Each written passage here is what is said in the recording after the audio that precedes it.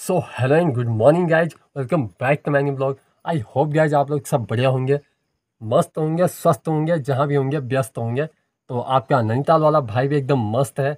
तो गाइज़ मैं सर्विस्ट उत्तराखंड की इन हसीन वादियों से फिर से आपके लिए एक नया ब्लॉग लेकर के आ गया हूँ। तो चलिए गाइज़ आज के ब्लॉग को भी शुरू कर लेते हैं। तो आइए आपसे कुछ बात करते हैं। चलिए फिर शुरुआत करते हैं।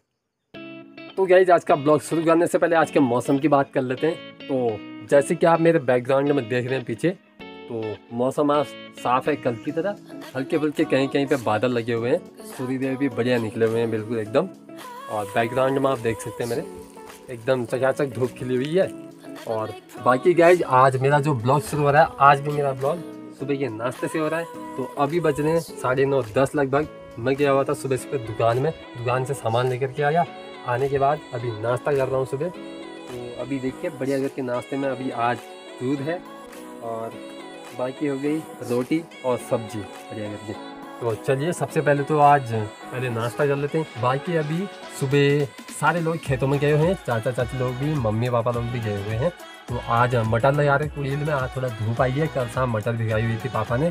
तो अभी मटर लगाने के लिए मम्मी और पापा तो कुड़ील में गए हुए हैं और बाकी चाचा चाची लोग भी मतलब अपने काम के कामों में मतलब खेतों में गए हुए हैं। बाकी मैं हूँ घर पे दादी है बूबू है।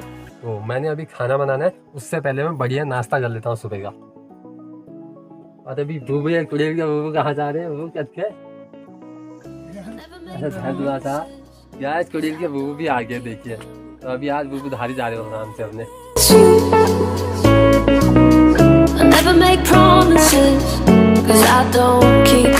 तो गए अभी समय हो रहा है लगभग तीन साढ़े तीन और सुबह के बाद मेरा ब्लॉग का साउंड डायरेक्ट अभी हो रहा है। तो गैज अभी मौसम ने एकदम से करवट बदल ली है बादल बादल लग गए हैं तगड़े वाले और एकदम से ब्लॉग ने भी अपना रुख चेंज कर लिया है।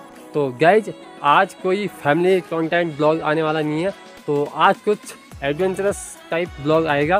तो जिसमें कि मैं आपको लेकर के जाने वाला हूँ, जो हमारे गाँव का मतलब काफ़ी पुराना क्रिकेट स्टेडियम है, जो कि गाड़ी खेत में मतलब पड़ता है। तो वहाँ पे हम जितने भी गाँव के मतलब भाई लोग थे, सारे लोग क्रिकेट वगैरह खेला करते थे। तो अभी तो फ़िलहाल मतलब सारे भाई लोग अपने अपनी जॉब में बाहर को चले गए हैं। बट अभी मैं आपको एक्सप्लोर कराने वाला हूँ अपना वो क्रिकेट स्टेडियम जहाँ पे हम लोग सब मिलकर क्रिकेट खेलते थे। और साथ में ही वहीं पे माता का मंदिर भी है तो वहाँ पे भी लेकर के जाने वाला हूँ मैं आपको। तो चलिए आज मेरे साथ आप ब्लॉग पे बने रहिए और जो भी आप मेरे ब्लॉग पे नए हैं तो चैनल को सब्सक्राइब कर दीजिए बेलाइकन दबा दीजिए। तो आपको इसी प्रकार के फैमिली कंटेंट और ऐसी एडवेंचरस कंटेंट आपको वीडियो देखने को मेरे चैनल पर मिलेंगी। तो गए चलिए अभी फ़िलहाल लेकर के चलते हैं आपको अपने पुराने क्रिकेट स्टेडियम और माता के दरबार तक तो चलिए गए तो गए अभी देखिए, अभी मैं हूँ अपने धार के इस रास्ते पे। तो यहाँ पर से बाकी रास्ता तो नीचे को गाँव को जाता है बुनासी को। बट मैं यहाँ पर से सीधे कटूँगा नीचे। और फॉरेस्ट से होते हुए, जंगल से होते हुए लेकर के चलूँगा आपको। उस गधेरे पे जहाँ मैच वगैरह खेलते थे, वैसे तो रास्ता मतलब ऊपर से भी है बट वहाँ से थोड़ा सा लॉन्ग है। तो मैं आपको यहाँ से मतलब फॉरेस्ट से होते हुए लेकर के चलता हूँ, सीधे आपके ग्राउंड अभी क्रिकेट स्टेडियम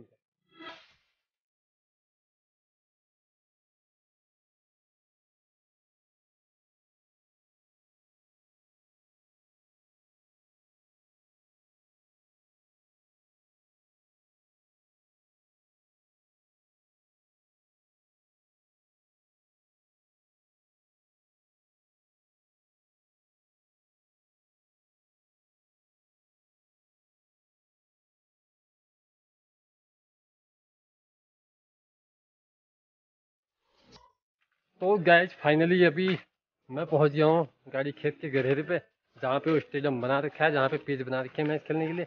बाकी चलते हैं पिच में बस, यहाँ पर से करीब पाँच दस कदम और है। तो मेरे पीछे आपको सामने दिखाई दे रहा होगा, वहीं पे पीछे तो वहीं पे पूरा पिच पे ले जाते हैं। और बाकी यहाँ पर से दिखता है गैज पीछे बिगदा लोग का मकान। तो बिगदा गोलू लोग, वहीं पे रहते पीछे मकान दिखाई दे रहा होगा आपको। और उस जस्ट उसके बगल में मोहित रहता है। तो बिगदा गोपाल और मोहित, उनका मतलब तीनों का घर वहीं पे काफ़ी दूर दराज से मतलब ऐसी जगहों पे मतलब भाई लोगों ने सबने मिल के पिच बना रखी है, जिसमें क्रिकेट वगैरह खेलते हैं। और बाकी चेक कीजिए गए यहाँ पर से पूरी आपको क्रिकेट की जो पिच है, वो पूरी पिच दिखेगी। तो सामने आपको दिख रही होगी, ये पूरी पीछे है क्रिकेट की, जहाँ पे हम लोग मैच खेला करते थे।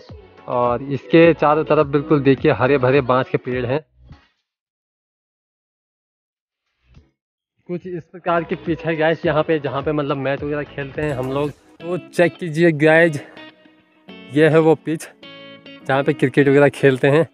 और बाकी इसके चारों तरफ़ देखिए आप, ये है पूरा चौड़ा गधेरा, पूरे देख सकते हो। और इतनी एरिया में, इतनी एरिया में खुला है पूरा। और सामने से गधेरा है इसमें, जिसमें बारिश के टाइम में काफ़ी ज़्यादा पानी आ जाता है। और इस जगह में देखिए गैज यहाँ पे लगाते हैं स्टंप तो आपको पत्थर दिखाई दे रहा होगा, पत्थर का स्टंप लगाते हैं, जहाँ से खिलाड़ी लोग खेलते हैं। बाकी एक स्टंप आगे तो उस साइड से गेंद कराते थे और इस साइड से खिलाड़ी खेलता था। अभी माता का मंदिर गैज ऊपर है, वहाँ पर भी लेकर के चलता हूँ आपको। उससे पहले यहाँ पर के बारे में बता देते हैं आपको मैं, बता देता हूँ। तो गैज यहाँ पे देखिए आप, पहले जो ये गधेरा हुआ करता था, बिल्कुल एकदम देखिए यहाँ पे जैसे आपको एकदम नीचे तो बिल्कुल तराई वो जैसा दिख रहा है, नीचे ढलान जैसी दिख रही है। तो यहाँ पे भी पूरा ऐसा ही मतलब हुआ करता था, इसी प्रकार का हुआ करता था। बाद में यहाँ पे जितने भी भाई लोग थे, सब लोगों ने मतलब घरों से मतलब तब्बल कुदाल दिलचा वगैरह ला करके खोद करके यहाँ पे पिच बनाई है बढ़िया वाली पिच बनाई खेलने के लिए। जब मतलब वो भाई लोग, सारे लोग अभी वीडियो देखेंगे तो उनको याद आएगी इस जगह की, कि यहाँ पे हम लोग क्रिकेट खेलते थे करके। अभी गैज मैं ही हूँ यहाँ पे तो अपनी वीडियो के माध्यम से मैं एक्सप्लोर करा रहा हूँ आपको अपना क्रिकेट का स्टेडियम अपना, अपनी पिच अपना गधेरा। तो भाई लोग भी देखेंगे तो उनको भी याद आएगी। और बाकी गैज कुछ इस प्रकार से है ये। देख सकते हैं आप पूरा मेरे चारों तरफ़ व्यू तो ये है, यहाँ का नाम है गाय टनवानी। तो ये टनवानी का गधेरा है। यहाँ पे भाई लोगों ने सबने खोद करके बनाए थे पिच तो फाइनली गाय जब मैं पहुँच गया हूँ माता के इस दरबार में। आपको दिखाता हूँ जहाँ पे मैया का मंदिर बना रखा है। तो ये देखिए, वो है कुछ इस प्रकार का। ये देखिए गाइज़ जहो माता।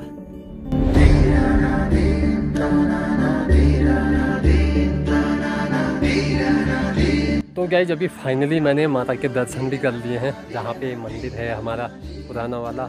काफ़ी समय हो गया इसको बनाए हुए, सारे भाई लोगों ने मिल करके यहाँ पे बनाया था ये। तो देखिए यह है दुर्गा मैया का मंदिर। तो गैस देखिए, यहाँ पे जिस जगह पे मंदिर बना है, पूरी चारों तरफ़ आप हरियाली देख सकते हैं यहाँ पे। और सबसे बड़ी बात, जहाँ पे मतलब गैस मंदिर बना है, इस एरिया का, इतनी टनवानी के एरिया का सबसे बड़ा बाँस का पेड़ यही है।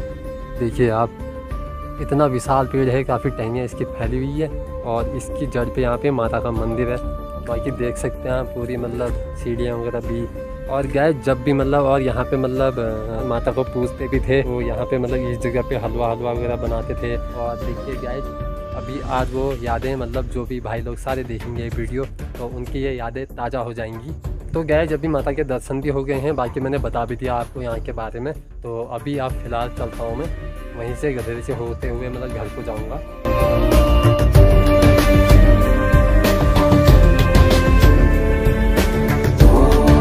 और यहाँ पर एक चीज़ चेक कीजिए गैज आपको सामने देखिए, वहाँ पे दिख रहा होगा एक तो वो है गैज पानी का नौला, जहाँ पे मतलब पानी होता पानी होता है, पानी भर करके ले जाते ये देखिए। सामने वहाँ पे घोड़ा भी चढ़ रहा है बढ़िया करके हरी हरी घास। और बाकी आप एक चीज़ यहाँ पे चेक कीजिएगा देखिए, ये है पूरा गधेरा। तो इस गधेरे से पानी आता है गैस, देखिए नल भी लगा रखा है यहाँ पर और इस जगह पे दिखाई दे रहा होगा आपको पानी अंदर। देखिए थोड़ा सा पास में ले जाकर दिखाता हूँ आपको। ये देखिए। तो गैज इस पहाड़ में आपको इस प्रकार के गधेरे और इस प्रकार के पानी के स्रोत काफ़ी देखने को मिलेंगे, खास करके आजकल के बरसात के टाइम में। तो जैसे कि आप मेरे पीछे देख रहे हैं तो इस गधेरे से पानी वगैरह नीचे को निकल रहा है। तो गैस बरसात के टाइम में, ये गर्मियों के टाइम में जो ये पानी के स्रोत होते हैं, ये सूख जाते हैं बट बरसात के टाइम में फिर से खुल जाते हैं और इस प्रकार से गड्ढे वगैरह बनाए जाते हैं। गड्ढों में पानी भरता है और जैसे कि मेरे पीछे देख रहे हैं आप, पानी का पाइप लगाया हुआ है तो गड्ढे बना करके पाइप के द्वारा फिर ये पानी घरों में या फिर खेतों में ले जाया जाता है। जैसे कि आप पीछे देख रहे हैं तो काफ़ी पानी निकल रहा है गधेरे से। तो गया इस पहाड़ों में इस तरीके के गधेरों का मतलब ना कोई रास्ता होता है, ना कोई दायरा होता है, ना कोई एरिया होता है? क्योंकि गैज पानी तो पानी होता है। क्योंकि जब बारिश वगैरह होती है तो जहाँ से ज़्यादा मतलब पानी बहने लग जाता है तो वहीं से गधेरा बन जाता है। तो यहाँ से भी जो मतलब हमारे यहाँ के हिल टॉप हैं, काफ़ी ऊँची जगह हैं तो वहाँ पर से पानी पूरा जितना बरसात का होता है, बह करके आता है तो इन गधेरों से आता है वो नीचे को। वो फिर नदी में मिलता है। और गैज बाकी घर को जाते जाते मेरे को एक चीज़ और दिखा है तो उसको भी मैं आपको दिखाना चाहूँगा। तो ये देखिए गैज ये आपको दिखाई दे रहा होगा। तो ये है जंगली मशरूम। तो ये देखिए गैज इस प्रकार के होते हैं मशरूम। आपको गैज मतलब मशरूम की बात कर रहा था ना तो इस प्रकार के मशरूम होते हैं जैसे कि आपको दिखाई दे रहा है। तो गैज बरसात के टाइम में जो मशरूम होते हैं, कुछ इसी प्रकार से होते हैं, इसी प्रकार से निकलते हैं। बट ये वाला जो मशरूम है गैज ये है जहरीला तो ये खाने वाला मशरूम नहीं है, मैंने देख लिया हो। तो बाकी इसकी भी गैज अलग अलग वैरायटी होती है अलग अलग प्रकार के होते हैं ये भी। तो जो ये वाला मशरूम है, ये जहरीला है, ये खाने वाला नहीं है। तो खाने वाला मशरूम जो है, वो अलग टाइप का होता है। तो कभी अगर बरसात के टाइम में, कभी अगर जंगलों को जाने का अगर प्लान बना कभी तो आपको ज़रूर मतलब मैं दिखाऊँगा आपको किस प्रकार का मशरूम होता है वो।